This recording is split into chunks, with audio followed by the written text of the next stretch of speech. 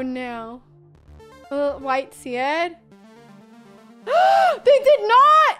What is happening? There was D5? Guys, okay, here there was D5. Now after this, it's a free... But now black had bishop takes C4? Guys, this crazy? And black is still...